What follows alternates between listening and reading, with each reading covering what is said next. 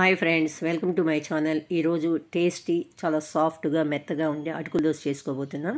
Instant dosa అప్పటికప్పుడు చేసుకోవచ్చు. First ఒక గ్లాసు బొంబాయి తీసుకుందాము. మెత్తటి అటుకులు అయితే వన్ అండ్ హాఫ్ గ్లాస్ తీసుకుందాము. గట్టి అయితే ఒక గ్లాస్ తీసుకుంటే సరిపోతుంది. దీంట్లో వచ్చి సాల్ట్ వేసేసుకుంటున్నాము. సాల్ట్ ఒక స్పూన్ వేస్తున్నాం. అప్పుడు టేస్ట్ బ్యాటర్ రెడీ అయిన తర్వాత టేస్ట్ చూసుకొని వేసుకుందాము. తర్వాత కర్డ్ పుల్లటి కర్డ్ ఉంటే ఇంకా మంచిది. నేను పుల్లటి కాడ వచ్చి ఒక కప్పు తీసుకున్నాము. కలబెట్టేసుకుని దానికి వాటర్ వచ్చి యాడ్ చేసుకున్నాం. ఒక రెండు గ్లాసులు వాటర్ యాడ్ చేసేసి బాగా కలబెట్టుకొని మూత పెట్టి ఒక టెన్ మినిట్స్ సైడ్ని పెట్టేసుకుందాము. నెక్స్ట్ చట్నీ చేసుకుందాము. ఈ చట్నీ కాంబినేషన్ సూపర్గా ఉంటుంది. కొంచెం మెంతులు తీసుకున్నాను. తర్వాత తాలింపు గింజలు తర్వాత ధనియాలు జీలకర్ర మూడు పచ్చిమిర్చి రెండు ఎండుమిరపకాయలు చాప్ చేసుకున్న త్రీ టమాటాస్ తీసుకుందాము ఇప్పుడు పాన్ పెట్టుకొని ఒక స్పూన్ ఆయిల్ వేసుకుందాము. దాంట్లో ఫస్ట్ మెంతులు వేసుకుందాము. కొంచెం ఫ్రై అయిన తర్వాత తాలింపు గింజలు వేసుకుందాము. తర్వాత ధనియాలు తర్వాత జీలకర్ర వేసుకుందాము. తర్వాత మిరపకాయలు తర్వాత ఎండు మిరపకాయలు బాగా ఫ్రై అయిన తర్వాత టమాటా చాప్ చేసిన టమాటాలు తీసుకున్నాము.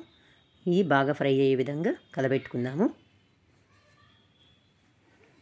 తర్వాత పసుపు తీసుకుంటున్నాము. కొంచెము సాల్ట్ కూడా ఒకేసారి వేస్తున్నాను. సాల్ట్ వేస్తే త్వరగా కుక్ అవుతుంది. ఇప్పుడు మూత పెట్టేసి తర్వాత ఫ్రై అయిందో లేదో చూసుకొని కొంచెం చల్లారిన తర్వాత మిక్సీకి వేసేసుకుందాము.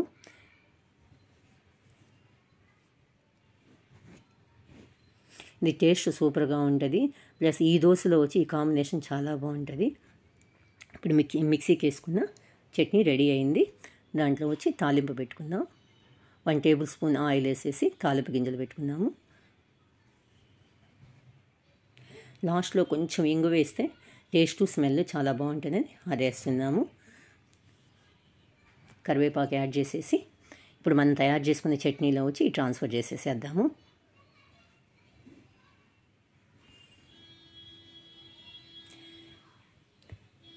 చట్నీ రెడీ అయిపోయింది. ఇప్పుడు బ్యాటర్ని రెడీ చేసుకుందాము. టెన్ మినిట్స్ ఉంచాం కాబట్టి బ్యాటర్ వచ్చి కొంచెం బాగా కలుస్తుంది. ఇప్పుడు వచ్చి మిక్సీకి వేసేసుకుందాం మెత్తగా స్మూత్గా మిక్సీకి వేసేసుకుందాము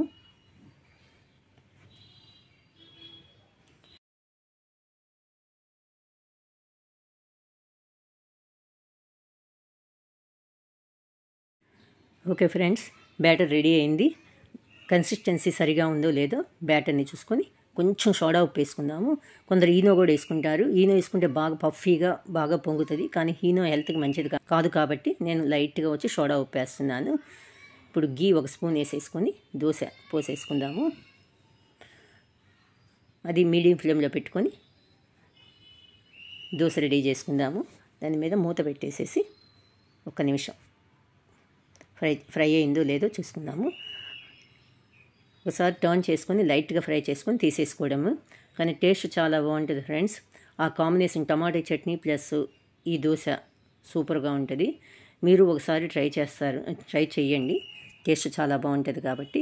ఇది బిఫోర్ డే ఏం చేసుకోవాల్సిన పని లేదు. మాకు అప్పటికప్పుడు టిఫిన్ చేసుకోవాలంటే వెంటనే ఒక టెన్ మినిట్స్లో రెడీ చేసేసుకోవచ్చు. కాబట్టి మీరు కూడా ఒకసారి చేస్తారని ఆశిస్తున్నాను. Okay friends.